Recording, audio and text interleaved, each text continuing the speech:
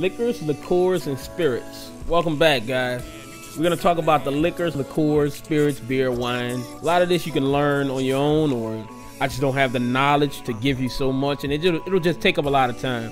So we're just gonna get real basic right now, just to familiarize yourself with like the bar and the well stuff. Liquor is a, an alcoholic beverage containing ethanol. It's made by distilling ethanol, really, by way of fermenting grain, fruit, or vegetable. You let the grains ferment and then you distill the ethanol, pretty much. A liqueur is a liquor with uh, added flavoring, and it's usually fruits or cream, herbs, nuts, flowers, and, and it's it's bottled with added sugar. So usually they're sweeter.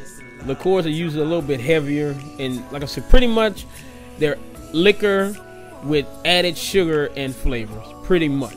And and, and it's usually it's the sugar that separates it. Because I mean, you have some flavors infused in like vodkas or whatever, but they're not liqueurs because they're not sugar. The, the the most popular liquors, and I like to classify them in this way. I call them European white liquors, and that's vodka and gin. Uh, then you have your, I call them Latin. I have rum and tequila and I call those the Latin white whiskeys, which I have them as bourbon, Canadian, Scotch, and Irish. And those are my whiskeys in a basic sense. And bourbon is the Kentucky bourbon. And then you have also have different American whiskeys, which are not from the bourbon region. But for bar purposes, we're going to consider all American whiskey bourbon. But like I said, there's Canadian rye whiskey, American bourbon, Scotch, and Irish whiskeys.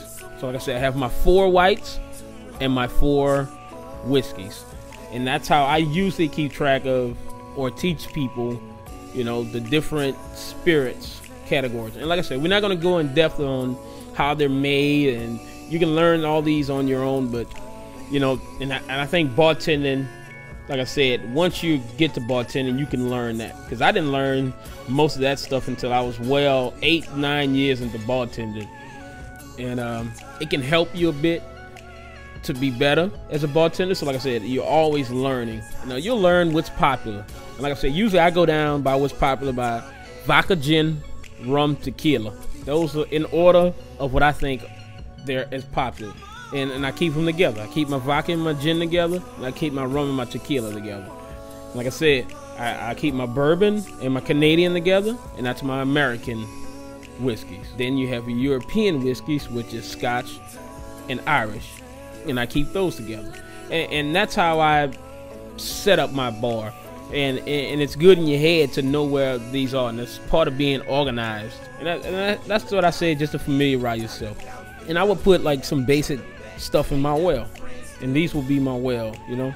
And a couple other things to add to the well. Triple sec, which we discussed as a mixer. Well, triple sec is a um, an orange flavored liqueur, pretty much. I think it's vodka based, and vodka is a common uh, spirit for liqueurs because it's a it's a neutral spirit, which means it doesn't have its a lot of strong characteristics as far as flavoring.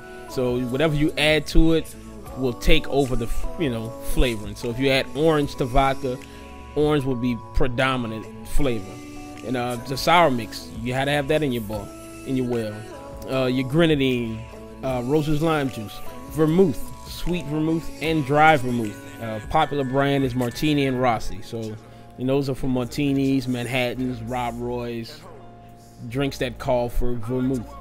And like I said, these are this will be my pretty much very basic well setup. Like I say, a well drink, if you want to know, is pretty much the cheapest liquor that you want to have access to regularly. Usually your well is situated where you are going to be most of the time. And it's usually right in front of you. you can just grab it. And like I said, I usually go from left to right. Vodka gin, rum tequila, bourbon, Canadian, Scotch, Irish. That's how I usually set up my well across if you have the room. Like I said, all bars are set up differently, so you know you you'll have to set it up your own way.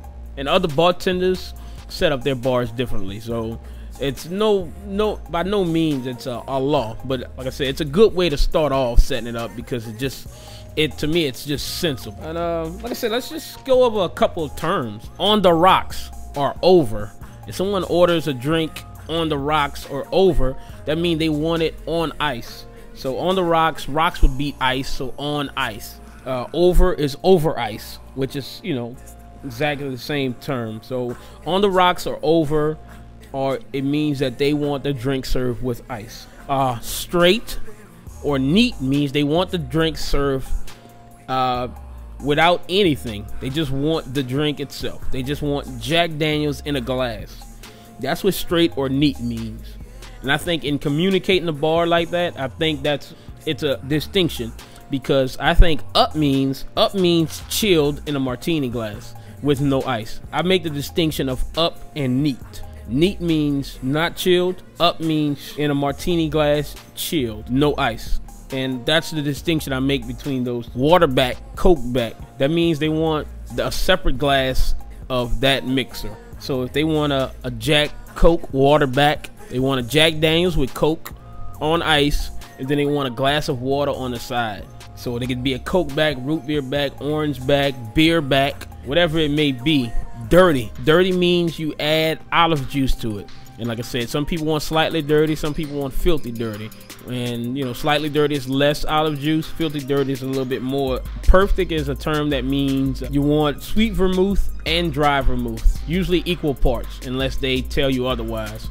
So if they want a Manhattan, a Manhattan perfect or a perfect Manhattan, they want uh, a Manhattan with both dry vermouth and sweet vermouth. Uh, a press or a Presbyterian. Someone wants a crown press. It's usually uh, a combination of carbonated beverages. Common is Sprite and soda, or Sprite and ginger ale, or soda and ginger ale. Usually, I do Sprite and soda or Sprite and water when someone asks for a, a press. But I would ask. A sour is just if someone orders a vodka sour, they want vodka and sour mix. And that's pretty much self-explanatory. Uh, a stone sour is a sour mix with orange juice added. So if someone wants a Jack Stone sour, they want Jack Daniels sour mix and orange juice. A flag is a garnish of an orange and cherry. Very common uh, garnish. It usually garnishes uh, drinks with um, orange juice or fruit punch drinks or sour mix drinks. Drinks with sour mix uh, get a flag. So a flag is a very, very common garnish, and it's it's a, a, combination of an orange and a cherry. Like drinks with Sprite or soda, usually citrus garnishes. Tonic, usually a lime or a lemon garnish. And those are pretty much automatic. Cranberry juice is a lime garnish, pretty much. Uh, grapefruit juice is a lime garnish. Uh, pineapple juice is usually a cherry garnish. Uh, all sour drinks are shaken. All drinks with milk are shaken or mixed. Bloody Marys, you never shake. Mix those from uh, tin to glass. You just familiarize yourself with the liquors. Uh, like I said, liqueurs are just, you know, drinks with sweetener added. You know, I mean, liquor with sweetener and flavoring added. Uh, like peach schnapps, apple pucker.